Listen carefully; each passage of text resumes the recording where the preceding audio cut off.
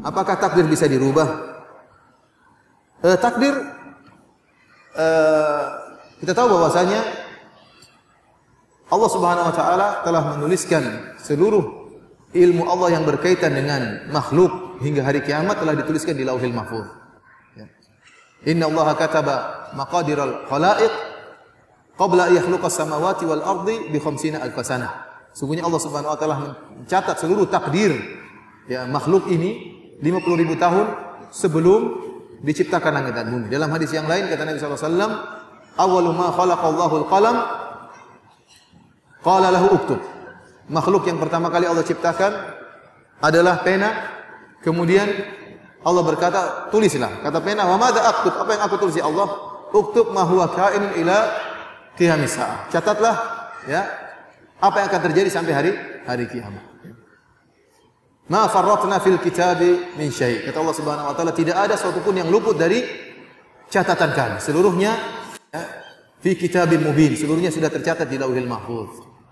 Jadi data utama seluruh kejadian, seluruh perubahan semua sudah dicatat di sumber data di Lauhil Mahfuz. Jadi Allah ilmu Allah Allah catat di Lauhil Mahfuz tentang yang berkaitan dengan takdir-takdir makhluk. Wala tasqutu min waraqatin illa ya'lamu. Tidak ada satu daun pun yang jatuh kecuali Allah mengetahuinya. Semuanya yang terjadi. La haula wa tidak ada perubahan suatu kondisi kecuali Allah mengetahuinya. Ya, bayangkan ada daun satu yang jatuh di mana pun dia, Allah mengetahui. Wala habbatin fi dhulumatil ard dan tidak ada satu biji pun di bawah bumi kecuali Allah mengetahuinya. Ya. Wala ratbin wala yabisin. Tidak ada satu yang kering, tidak ada satu yang basah kecuali Allah mengetahui. Semuanya tidak ada yang luput. Allah tahu segala sesuatu dengan dengan detail. Allah yang menciptakan kita, seluruh makhluk ini, seluruh yang kita lakukan, seluruh yang kita bicarakan Allah tahu. Seluruh pandangan yang kita lihat seluruhnya juga Allah tahu. Tidak ada yang luput dari karena seluruh alam semesta ini ciptaan Allah Subhanahu wa taala dan seluruhnya telah tercatat di Lauhil Mahfuz.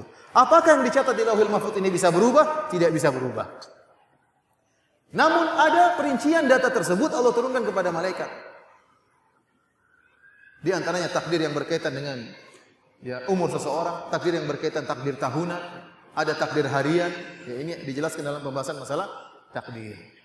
Di antaranya Rasulullah SAW mengatakan la yaruddul al qada illa doa. Tidak ada yang bisa merubah takdir kecuali apa?